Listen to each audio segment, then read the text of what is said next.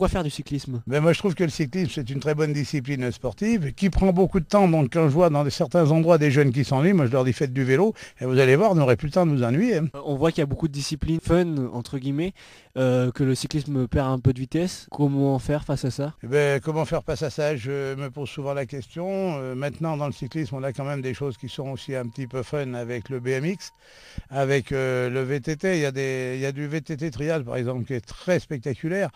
Et moi je dis aux jeunes, venez voir euh, ce qui se passe dans le monde du vélo. C'est plus l'époque euh, il y a 40 ans, euh, plus rien à voir. c'est beau, c'est beaucoup, il y a beaucoup, beaucoup de différences. Vous êtes spécialiste un peu du, cyclisme féminin. Est-ce que vous pouvez, vous pouvez me parler de la situation actuelle du cyclisme féminin? En Limousin, il est moribond. En France, il est très malade. Dans le monde en général, il est fatigué. Comment, par exemple, attirer les médias? Comment relancer le cyclisme féminin? Mais ça, c'est la, la, grande question que tout le monde se pose dans le monde du, sport féminin. Il n'y a pas que le cyclisme féminin, mais il y a, des choses qui ne vont pas du tout. On fait une course internationale en juillet, il faut pleurer pour avoir euh, deux minutes de télé, ça c'est pas normal. Il y, a quelque chose de malheureux avec le, cyclisme féminin. On a l'impression que pour parler du cyclisme féminin, il faut parler de Jeannie Longo. Qu'est-ce que vous pensez de cette situation? Jeannie Longo, je la connais très bien. Jeannie Longo, je la respecte. Jeannie Longo, je l'admire. Euh, le problème de Jeannie Longo, c'est qu'elle s'occupe d'elle et d'elle seule. Et je pense que si Jeannie Longo avait en fin de carrière, parce qu'elle arrive en fin de carrière, travaillé pour l'ensemble du vélo féminin en France, le vélo féminin serait sorti de l'ornière.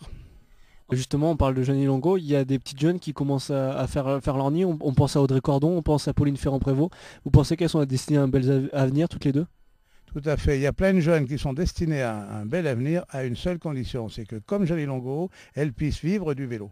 Il est impossible à une personne euh, qui va travailler 7 heures ou 8 heures par jour de s'entraîner et de faire du vélo à un niveau international dans lequel les étrangères ne font que du vélo. Vous avez aujourd'hui Hélène Weidman qui est là, elle est à l'avant de la course. Pourquoi? Parce qu'Hélène, elle a été aux Jeux Olympiques, c'est une championne olympique. Son métier, c'est faire du vélo. Elle touche une paye pour faire du vélo.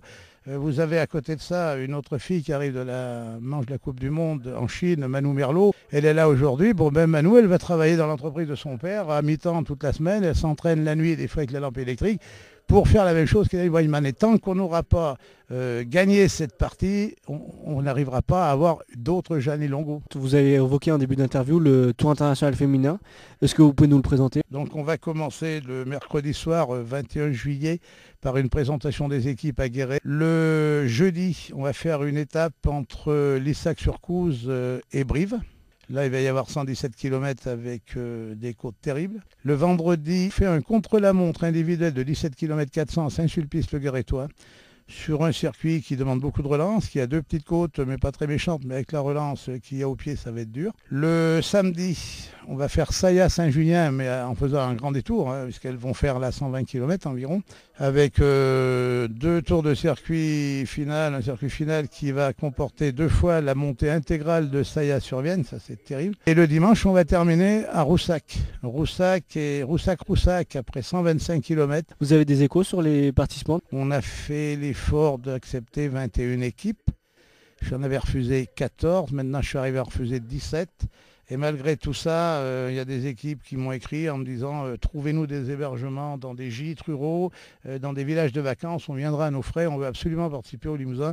le Limousin est devenu quelque chose d'incontournable dans le monde. Et là, je pense que comme c'est parti, on risque d'avoir 200 filles au départ. il y a quand même une forte ambivalence entre la réputation de, Tour international féminin et le, fait que, comme vous disiez tout à l'heure, il a failli pas exister cette année?